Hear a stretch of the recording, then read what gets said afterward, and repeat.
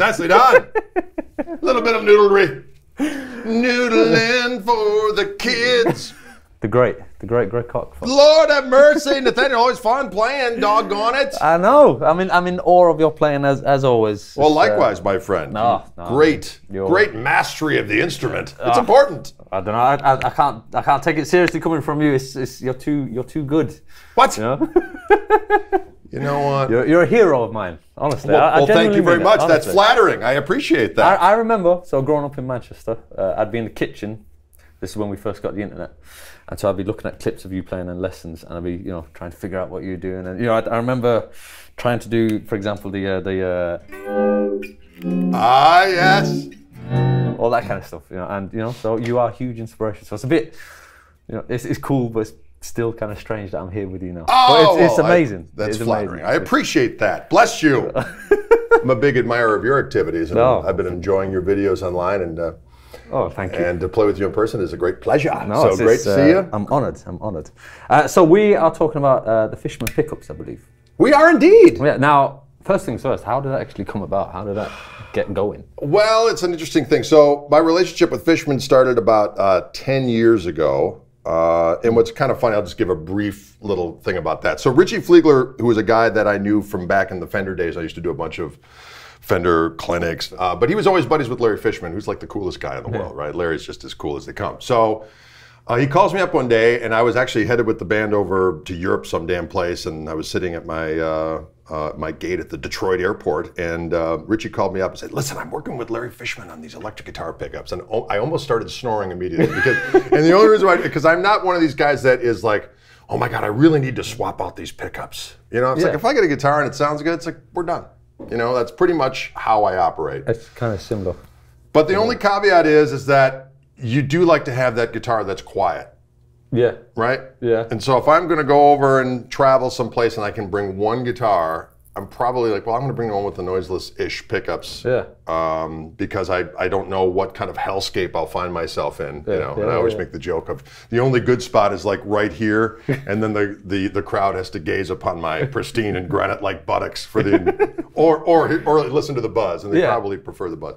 So. Um, that was the only thing that got me. And because prior to that, it always been it's like, yeah, these pickups are um, are noiseless. They sound pretty good. That's that's pretty much always been the thing. It's never Yeah. been these pickups are unbelievable and they're noiseless. You know what I mean? So once he described what the pickups did and that it was this revolutionary technology, yada, yada, I was like, okay, I'll I'll go out there and see what they got. Yeah. We first did the Strat pickups, which they call the Fishman Fluence single width, and then I worked with them on voicing the uh, the classic humbuckers, um, and I loved them. I mean, I was I used them all the time. Yeah. And then I worked on the Tele pickups, and those came out um, a while back, and they're doing very well. I love them. I still, you know, I have them in all my major T, except for my 53 Tele. I kept that conventional, Yeah. right? Because you're not gonna, Uh, yeah, you're gonna you're not gonna yank the pickups out of that thing. You're gonna Just leave it leave as it is. Um, but I always like P90s, and and the thing about P90s is that we all love the way they sound, but if you add any kind of gain, they get noisy as hell. Yeah. So we had it kind of in the pipeline that we were going to do uh, at some point do some P90s.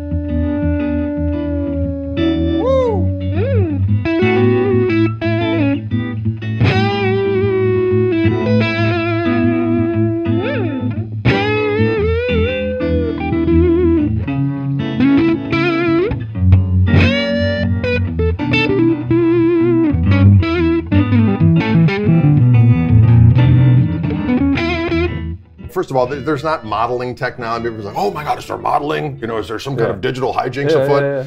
Well, there, there's actual coils, but what it was is that this guy who was an aerospace, you know, worked in the aerospace industry, had these really thin circuit boards uh, that you could print a coil on. so instead of having copper windings around magnets, it's actually just these stacked circuit boards that have a printed Oh, wow. winding. Yeah. So that in of, of, of itself, you just plugged straight in with just that scenario. It's, it's Hmm. just anemic and not very high output. So there has to be a preamp on board. Okay. Okay.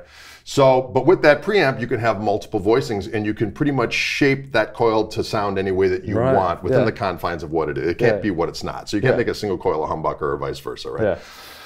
Uh, so we usually have a shuttle guitar, so meaning we can pop in conventional P90s, listen to how that sounds. Yeah. pop them out, pop the Fluence versions in, which are set up with a guy at a computer with Frank Falbo with uh, uh, with this uh, digital skullduggery that Yeah, he yeah. is using to voice the stuff, and then I'll be like, well, can we get a little bit more of this? And then he's he's do it. adjusting it in Oh, real wow. time, right? That's incredible. So then we pop those out, pop the other ones in. Yeah. So with every experience I've had with voicing the Fishman pickups, by the time we're done, and it's a long process. You know, you Yeah. start the day and you're like, that ain't it, that ain't it, and then sometimes as the day wears on, it's getting close to dinner, all And of a sudden, ding, ding, ding, ding, ding, you know?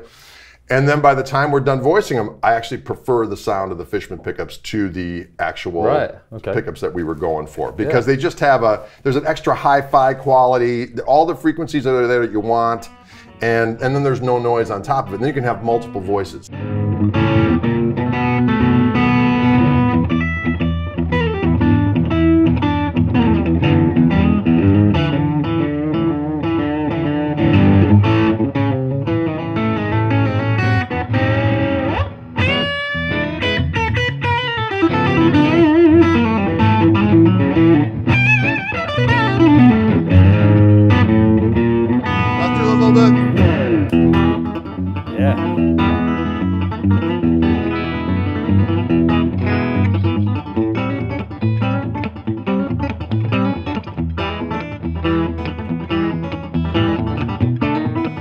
Sound wise, what we were going for was, you know, I like to refer to a neck pickup on a P90 instrument as kind of a girthy glass, you know, sinuous Yes. glass. Uh, and this certainly gets it.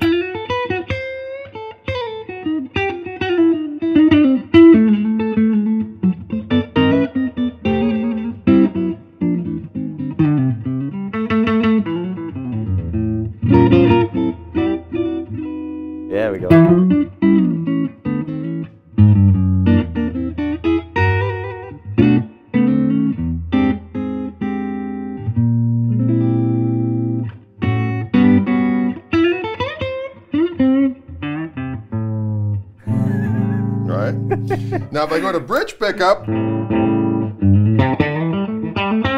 wanted that kind of honky, Yeah. you know. Something I really found with the Joe Naylor, the Reverend P90s, that they Yeah. did this really well.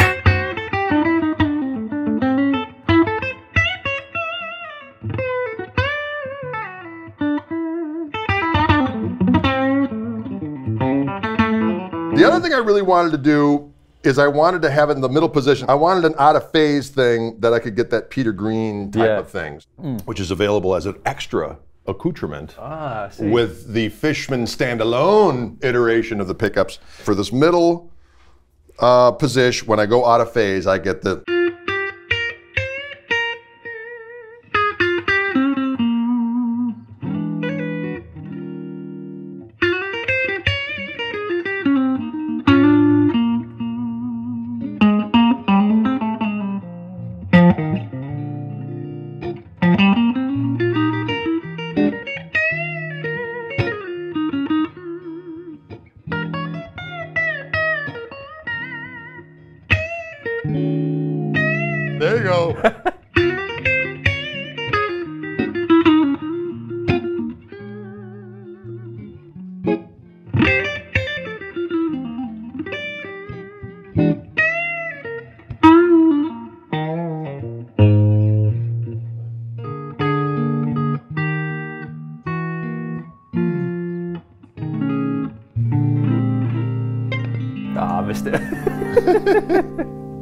I love that sound, obviously. It's, Yeah, it's yeah, killer. yeah. Um, and so they sound great clean. It's a great clean sound, but of course, the real test is when you add the heat. Yes. Let's And hit. you, let's and you don't want to.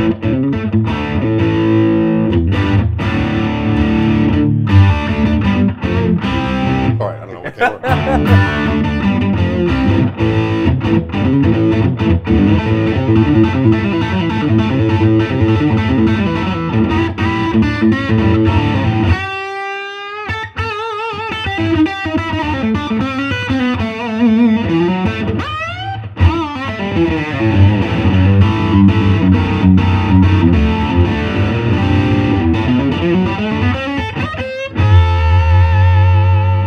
like a banshee There in we heat. go. Look at that. Brilliant. But if I go to the neck pickup, usually under most situations like that, the neck pickup would sound kind of muddy in Yeah. comparison. But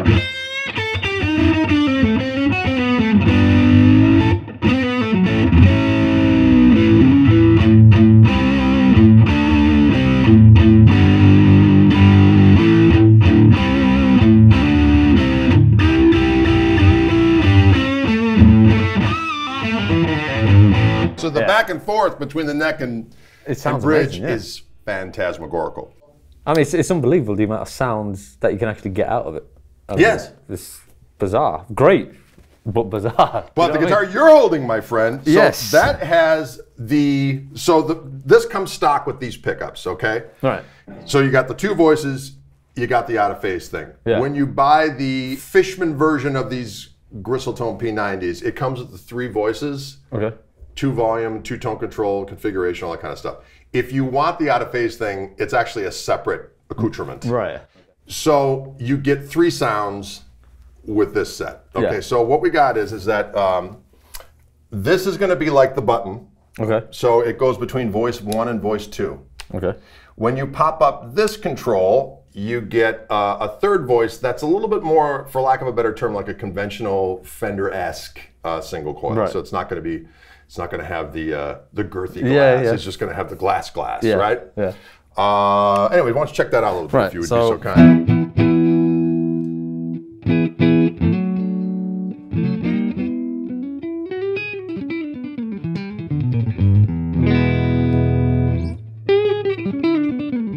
So that's regular. That's regular Yeah. P90, and then the other one's more the Yeah. Fender-esque one. And Yeah. then if you pop up the other one, when that's down, it'll get that second voice of the. That's got a little bit more girth Yeah. to it. Yeah, definitely. You can definitely uh, hear that.